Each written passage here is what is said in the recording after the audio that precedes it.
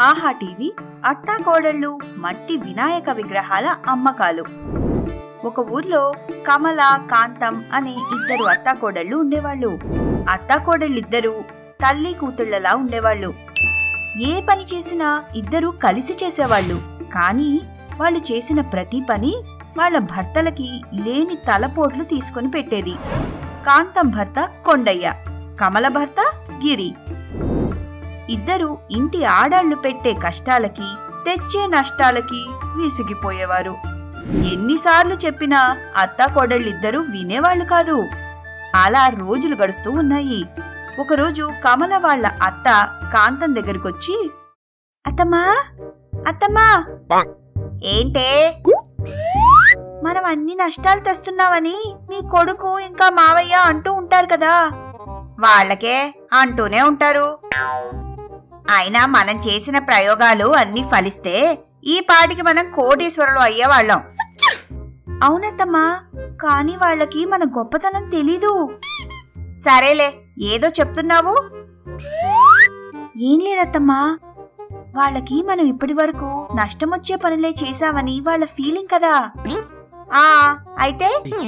ఇప్పుడు వాళ్ళకి ఎలాంటి నష్టం లేని ఇంకా చెప్పాలంటే తక్కువ పెట్టుబడితో ఎక్కువ లాభాలు వచ్చే ప్లాన్ నా దగ్గర ఒకటి ఉంది. అవునా? ఏంటి అది? ఈ నెల వినాయక చవితి ఉంది కదత్తమ్మా అవును ఉంది. మన మట్టి వినాయకుల్ని చేసి అమ్మితే చాలా లాభాలొస్తాయి. అనగానే కాంతం నిరాశగా ఊపిరి వదిలి "హ్మ్, మట్టి వినాయకుల్ని ఎవరు కొంటారే? ఇప్పుడు అన్ని రంగురంగుల వినాయకుల్ని అందంగా రూపుదిద్దిన వినాయకుణ్ణి విగ్రహాల్ని కొంటున్నారు. అలా ఏం లేదత్తమ్మా? గ్రీన్ ఇండియా క్లీన్ ఇండియా అని అంటారు కదా. అందుకని మనం మట్టి వినాయకుల్ని చేసి తక్కువ ధరలో అమ్మితే చాలా మంది కొంటారు. సర్లే నీ మాట ఎందుకు కాదనాలి? పద వెళ్ళి మన వాళ్ళకి చెప్పొద్దాం. అనుకుంటూ అక్కడి నుంచి బయలుదేరారు. ఇంటి ముందు ఉన్న పశువుల కొట్టం దగ్గర గిరి కొండయ్య ఇద్దరు ఉన్నారు. అత్తాకోడళ్ళిద్దరూ కలిసి రావడం చూసి షాక్. నాన్నా వీళ్ళిద్దరూ మళ్ళీ ఏకమై వస్తున్నారు.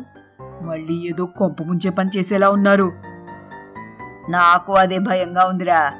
ఇప్పుడు ఏం బాంబు పేలుస్తారో ఏంటో? అనుకుంటూ ఉండగానే ఇద్దరు అత్తా కోడళ్ళు వచ్చారు. వాళ్ళు రాగానే అత్తాకోడళ్ళిద్దరూ వచ్చారంటే మళ్ళీ ఏదో ప్లాన్ చేసినట్టున్నారు. అవునండి. ఈసారైతే కొంచెం కూడా నష్టం ఉండదు. అవునా? మీరు ప్రతిసారి ఇలా చెప్పే చేస్తున్నారు. అది మాకు తీరని లోటుని తలపోటుని తెస్తుంది. మొన్నటికి మొన్న ఏం చేశారు? ఏం చేశాము? అనగానే ఫ్లాష్ బ్యాక్.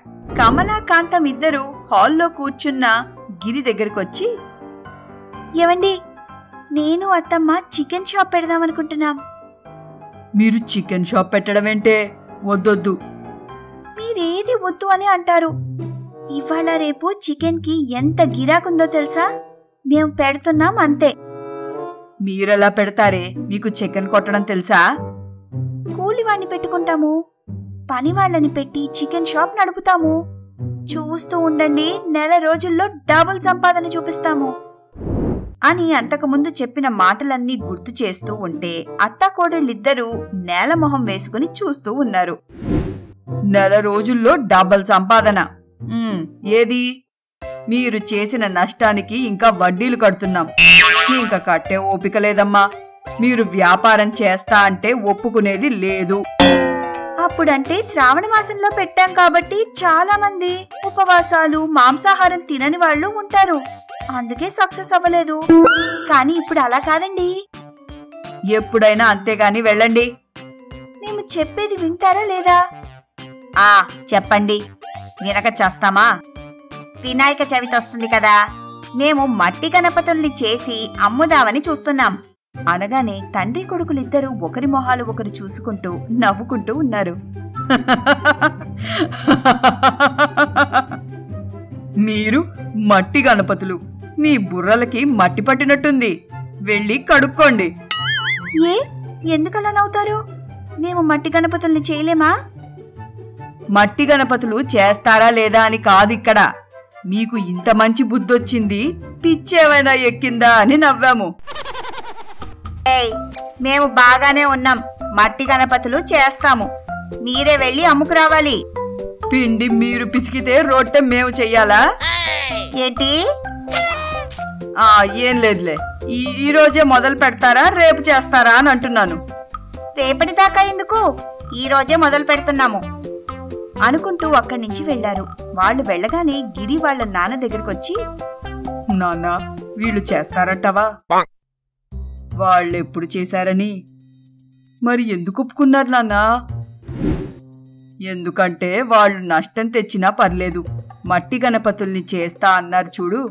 అందుకు కెమికల్స్ వాడిన విగ్రహాల వల్ల వాటర్ పొల్యూషన్ అవుతుంది. వీళ్ళు మట్టితో చేయడం వల్ల ఎంతో కొంత పొల్యూషన్ తగ్గించిన వాళ్ళం అవుతాం కదా. అవునానా? ఎవరు కొనకపోతే ఫ్రీగా అయినా పంచిపెడదాము ఆ మట్టి గణపతుల్ని. సరే ముందు వాళ్ళని చెయ్యనివ్వు. అనుకుంటూ అక్కడి నుంచి వెళ్ళారు అత్తాకోడళ్ళిద్దరూ వాళ్ళ పొలం దగ్గరికొచ్చి పొలంలో మట్టిని ఒక దగ్గర పోగేసి ఇద్దరూ కలిసి మట్టి గణపతులను చేస్తూ ఉన్నారు. చాలా అందంగా చాలా పెద్దగా కూడా చేస్తూ ఉన్నారు. అలా రెండు రోజుల్లో అత్తాకోడళ్ళిద్దరూ చాలానే మట్టి గణపతుల్ని చేశారు. వాటన్నిటినీ గిరి కొండయ్య ఇద్దరూ బస్తీకి తరలించి రోడ్డు పక్కన ఒక చోట మట్టి గణపతుల విగ్రహాలు అనే బోర్డు పెట్టి అమ్ముతూ ఉన్నారు. చాలా తక్కువ ధరకే విగ్రహాలు అమ్ముతూ ఉండడంతో చాలా మంది జనం వాళ్ళ దగ్గర మట్టి గణపతులు కొన్నారు. రెండు మూడు రోజుల్లోనే వాళ్ళ మట్టి గణపతి విగ్రహాలన్నీ అమ్ముడుపోయాయి. వచ్చిన డబ్బు తీసుకుని ఇంటికొచ్చి ఇన్నాళ్ళలో మీరు చేసిన పని ఇదొక్కటే సక్సెస్ అయింది. మరేమనుకున్నారు? ఏమనుకోలేదులే కాని మనకి ఆ మట్టి గణపతి వల్ల మొదటిసారి లాభాలొచ్చాయి. అందుకని మనం కూడా మన ఇంట్లో మట్టి గణపతిని పెట్టుకుని పూజిద్దాం. ఏమంటారు? మీరు అలా అంటారని ముందే ఊహించి మన కోసం ఆల్రెడీ మట్టి గణపతిని సిద్ధంగా ఉంచామండి. ఆహా పర్లేదే. ఆ గణపతి పుణ్యాన దారిలోకి వచ్చారు పదండి మనం కూడా వినాయక చవితిని ఘనంగా జరుపుకుందాం. అనుకుంటూ అక్కడి నుంచి వెళ్ళారు అందరూ కలిసి వినాయక చవితిని చాలా ఘనంగా జరుపుకున్నారు. ఈ ఎపిసోడ్ కూడా మీకు నచ్చింది కదూ? మరి లేట్ ఎందుకు? ఇప్పుడే మా ఛానల్ని సబ్స్క్రైబ్ చేయండి. గంట కూడా కొట్టుండ్రి ఈ ఎపిసోడ్లో మీకు ఏం నచ్చిందో కింద కామెంట్ రూపంలో చెప్పండి. మిమ్మల్ని ఆహా అనిపింపజేసే మరిన్ని వీడియోస్ కోసం చూస్తూనే ఉండండి ఆహా టీవీ.